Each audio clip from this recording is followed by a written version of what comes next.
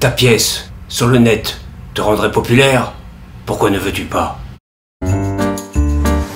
Et que faudrait-il faire? Chercher par tout moyen, YouTube ou Facebook, à brader mon travail comme mon marchand au souk et flatter mon ego en filmant mon spectacle?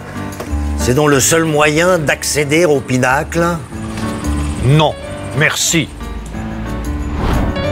Se noyer. Comme tous ils le font, les chaînes aux poignets, sombrant au plus profond de l'océan marécageux du numérique en voyant défiler son nom au générique. Non, merci. Déposer son mouchoir par-dessus sa fierté Son orgueil Tous les bonheurs reçus en d'autres temps, avant, bien avant la Covid Quand la salle était pleine et le public avide Non merci.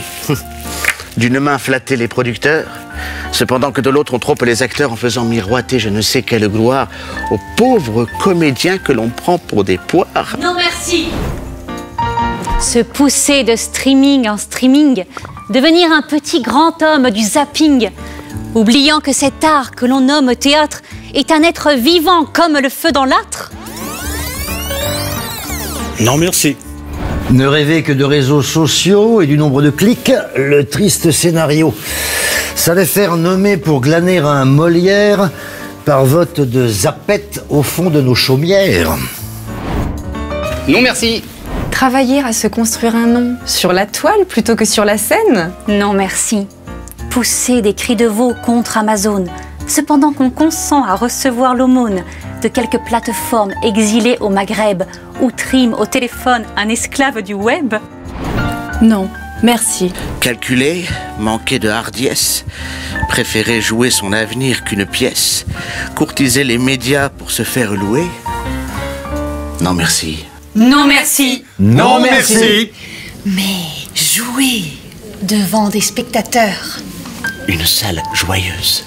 Un public attentif, une foule curieuse qui respire avec vous dans un souffle vibrant que ne pourra jamais reproduire un écran.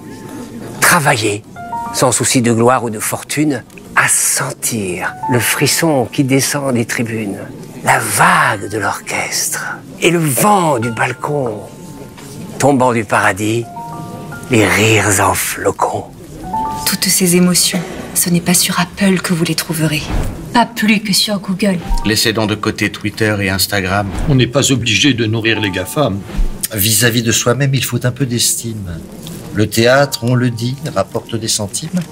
Or, jamais un agneau ne se prend pour un lion quand les réseaux sociaux engrangent des millions.